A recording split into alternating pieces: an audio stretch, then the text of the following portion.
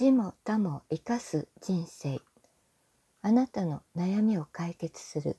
心と知性の磨き方。大川隆法第2章。実務的知性と宗教的知性。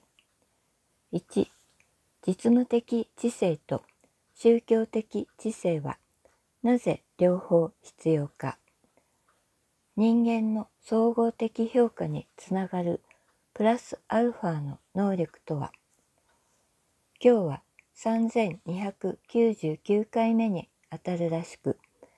あと1回で3300回なのですがかっこ説法辞典2024年4月現在の説法回数は3500回以上。こういうものはテーマが急に降ってくることがあり、お昼ごろこういう話が必要かな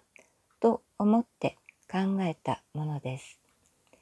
私はいろいろなことについての話をしていますけれども、主として宗教の方に足場を置いてやっているので、宗教的な話が多いかと思います。そうした話はそれぞれの人の心を豊かにしたり慰めを与えたりするのには役に立っていると思うし魂の磨きやあるいは成長に役に立っていることも多いだろうと思います。ただそうした宗教的説法だけでは実は救われていない部分もあるのではないかと思うのです。本章ではその辺についてちょっと話を補強しておいた方がいいのかなというふうに考えています。実務的知性と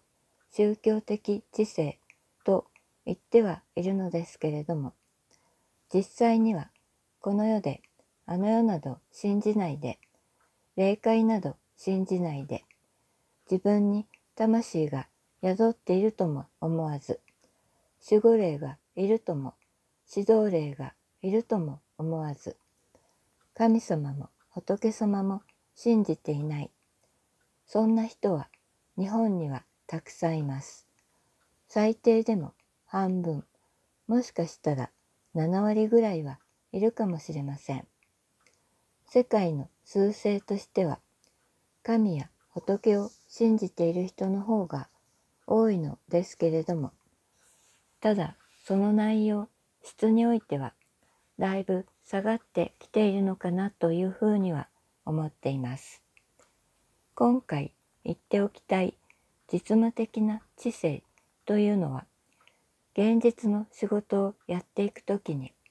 判断したり考えたり見通したり片付けていく能力に関連した知性のことで一般的には知能と関わるインテリジェンス、かっこ知性の問題かというふうに思います。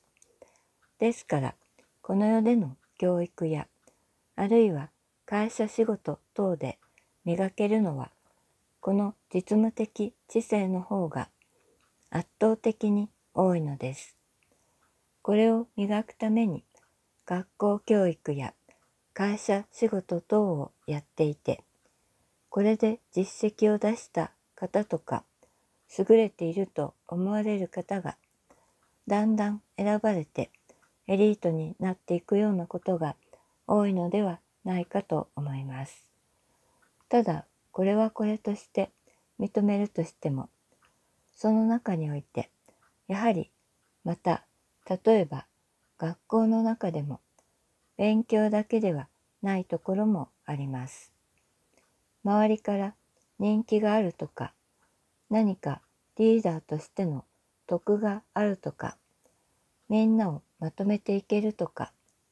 あるいは困った人がいたら助けてあげたりクラスの調和を作っていけたりするような人もいるし先生が困っていたらその部分を補ってくれてみんなの気持ちを引っ張っていってくれるような子もいます。それは会社でも一緒です。そうした個人の能力に基づいて個人個人の仕事をみんなはやっていてできるできない等を振り分けていかれるし判断されます。また勉強の延長上にあるような知性を使ってある一定の専門領域についての仕事を積み重ねていくわけですけれどもその間他の人とも一緒に仕事をやっているし自分が所属しているところ以外との関係もあります。そういうことで会社全体として見たときにその人の能力ができるかできないかということだけではなくやはりプラスアルファの部分はあるのではないかと思うのです。例えば仕事的にそんなに切れなくてもその人がいると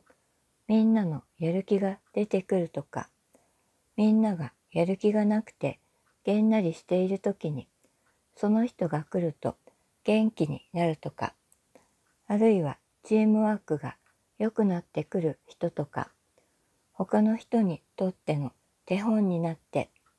みんなを引っ張ってくれるような人がいることもあるし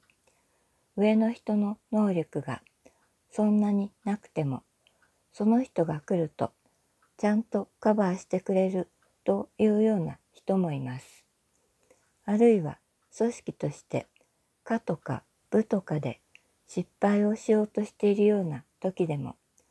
その人がいるために会社全体に致命的な失敗を犯さないで済むようなこともあります。そうしたことをさっとやってのける方もいることはいます。そのようにいろいろな方がいて通常の能力と思われない部分でプラスアルファの能力というものが出てきます。そういうものが積み重なってきて総合的な評価が出来上がっていくのです。この世的な能力が未熟だと宗教的な知性にも影響が出る。それから会社での仕事能力はあると思っていた人がある時からできなくなるようなこともあります。それは家庭に悩みがある時などにはそういうことがあります。例えばお父さんとかお母さんとかが重い病気になり病人を抱えているあるいは結婚をしている人であれば奥さんとか旦那さんとかに何か事故病気等があってそれが頭から離れないあるいは子供に問題があって引っ張られるそれは病気の時もあるし障害がある場合もあるしそうでなくても子供にとっても進学とか就職とかその他いろいろと問題が多いこともあるでしょう。親の方は出世していても子供の方は仕事ができなくて家でずっと引きこもりをやっている40代で引きこもりをやっているなどという家庭もあります。これは現実にありました。元役所の事務次官をやっていた方が70代になって40代で家に引きこもっている息子がいつも人を殺してやるみたいなことを言うのでニュースで通り魔のように人を殺した人が出てきたのを見て息子も真似をしてそんな風になるんじゃないか近くに幼稚園があるので怖いと思って殺してしまったなどということも現実にはありました。法律は知っているでしょうから、それが犯罪になることぐらいは十分に分かっていたとは思うのだけれども、自分が70代後半にもなってきたら、もうあとはこの息子を残してどうなるかというようなところも感じたのでしょう。ですから普通の判断ではありえないようなことをやってしまうこともあります。あるいは家庭内暴力のようなことが起きていたら外には知られたくないものです。恥ずかしいから知られたくないけれども家庭内暴力のようなことが続いていたらもう会社の仕事が手につかないということはあるでしょう。早く帰らないと家で暴力を振るっているかもしれないとか思うこともあるし夜が眠れないこともあるでしょう。宗教的に言えばそれは悪霊現象とかいろいろなものが絡んでいることもありますけれども人間というのはそういういろいろなことで普通ならできると思うようなことができなくなっていくようなところがあるのです。結婚問題や離婚問題等も結構大きな問題です。進学、卒業、就職、結婚、出産、あるいは転職、それから離婚、いろいろなことがあります。転勤もあるし、あるいは家を売ったり買ったり建てたりするような時もあります。そういう時にいろいろな人がいろいろな判断を加えていってトータルで見たらプラスになったりマイナスになったり両方あることもあると思います。ただ全部について話をするのはちょっと無理かなとは思いますので今回はこうしたこの世的な判断あるいはこの世的な能力を使ってやる部分が未熟だと宗教的な知性の方にも影響が出るというところを自覚してほしいと思ってこの小さな説法をしようと思った次第です。